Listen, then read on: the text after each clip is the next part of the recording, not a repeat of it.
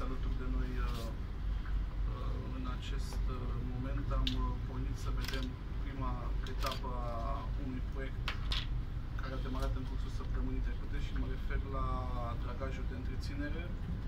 Un dragaj care nu a mai fost făcut în portul Constanța, din ce îmi spunea domnul director Chevrichi, de mai bine de 10 ani de zile.